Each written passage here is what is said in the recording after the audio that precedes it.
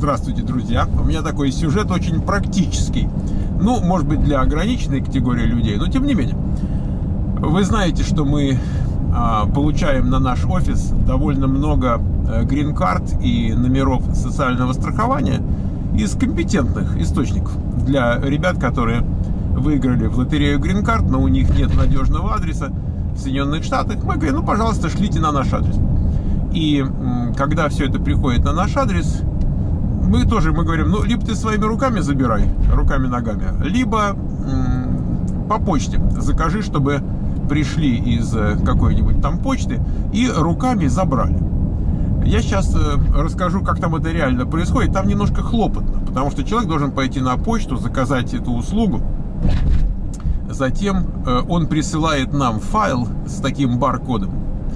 И мы, значит, распечатываем, наклеиваем на конверт конверт кладем, что там у него есть, и ждем почтальона. С почтальоном бывают накладки. Вот, например, был случай, когда там чуть ли не раза три этот почтальон приходил, чего-то там отсутствовало в тот момент или в этот момент. Там была суббота, а здесь было, ну, я не знаю, что-то там было. Или праздник был, или нужного человека не было. Он пришел, а тот вышел в туалет и, и ушел. В общем, черти что бывает. И тут вот э, сегодня я впервые воспользовался др другим путем. То есть, в смысле, предложили люди, которые хотели забрать грин-карту, э, они говорят, давайте мы вместо того, чтобы заказывать сервис по забору живьем из вашего офиса, по-другому сделаем. Мы вам пришлем конверт.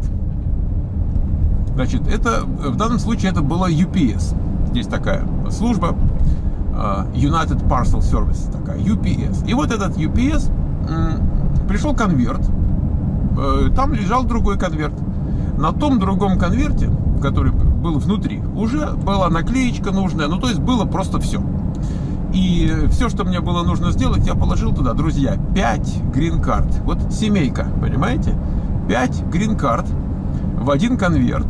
Э, и поскольку наш э, офис находится в здании, а это здание находится на бизнес-плазе, а на бизнес-плазе таких, как мы, точно таких, как мы, четверо, а там по бокам еще какие-то стоят. В общем, на этой бизнес-плате есть остановка э, почтовых сервисов, практически всех основных.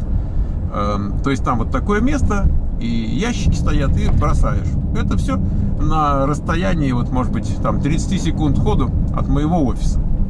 Поэтому я совершенно как бы не, почту за труд, не сочту за труд пройтись 30 секунд туда и 30 секунд обратно. Это даже может быть и неплохо для разминочки. Вот. Но надо сказать, что удобство невероятное, потому что ты не должен никого ждать. Вот так тебе говорят, вот там кто-то есть, там кого-то нет.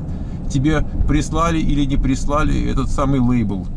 А, то есть бывает, они говорят, вот к вам придут, я думаю, боже, а лейбл? Мы же должны наклеить, мы же должны успеть, мы же должны положить в этот конверт там и так далее. И сотрудникам, э, сотрудники вовлекаются, потому что они готовят этот конверт, и они ждут, чтобы отдать там, когда почтальон придет и так далее. В общем, какие-то хлопоты, знаете, халоймыс такие.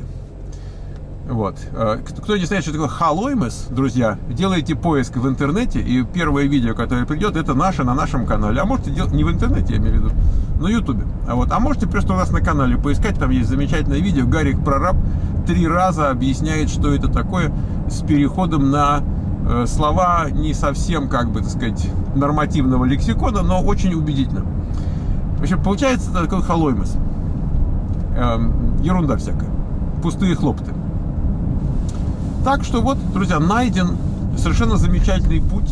Эм, я даже думаю, что может быть это и дешевле даже. То есть, наверное, подхват, подхватка вручную э, живым человеком дороже стоит, чем просто по почте там конверт какой-то пришел и все. То есть мне так кажется, что... Я, я не знаю. Дело не в экономии там 2-3 долларов, но дело в том, что э, конверт пришел, положили, бросили. Занимает вот там 2 минуты. Вот, вот собственно, и все. Поэтому совершенно идеальная форма по сравнению с той, которой мы пользовались раньше. Так что вот, наверное, весь мой рассказ. Счастливо. Значит, еще раз, это UPS. И вот сервис, когда отправляют конверт для, с обратным ходом. Ну, как, я не знаю, как он официально называется, честно, не, не могу сказать, можно, можно погуглить. Может быть, кто-то из наших зрителей эм, напишет внизу в комментариях а я тогда перенесу потом куда-то повыше, там, в описание к видео, или, может быть, даже в его оглавление и так далее. Счастливо!